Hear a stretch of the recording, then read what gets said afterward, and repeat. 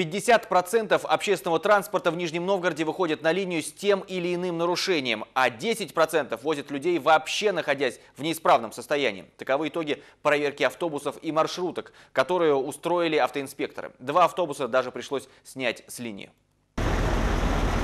Данный автобус эксплуатировался при наличии технической неисправности, неисправна тормозная система. И в итоге что с ним сейчас? Куда его? На специализированную стоянку. Когда сломалось-то? По ходу движения, наверное. А как насчет ПДД? ПДД? Да. Не, не слышал.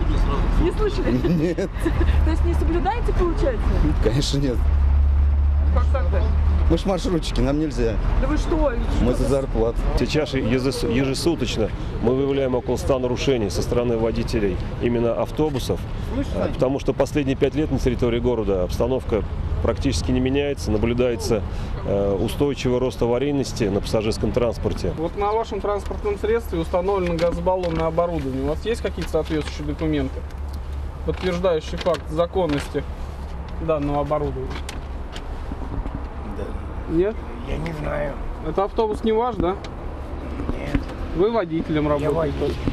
Данное нарушение у нас квалифицируется как незаконное внесение изменений в конструкцию транссредств. В отношении вас будет составлен административный материал. Индивидуальному предпринимателю будет выдано представление об устранении данного нарушения. Перевозка пассажиров запрещена до устранения данной неисправности. Мне кажется, это просто обман зрения, вот и все.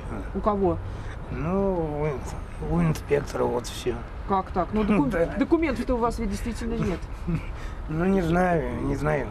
У меня есть начальство, ему виднее. Вторая проблема основная – это э, профессиональная непригодность э, большинства водителей автобусов, еще раз напоминаю, особенно частных перевозчиков. Э, Если в том году мы выявили около 8 тысяч нарушений правил дорожного движения с их стороны, в том числе были отстранены от управления 14 водителей в состоянии опьянения.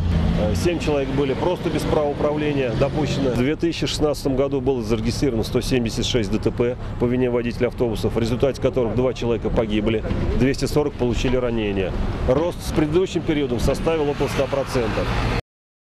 Кстати, что касается итогов этого года, то в авариях, произошедших по вине водителей автобусов, ранения и травмы получили уже 43 человека.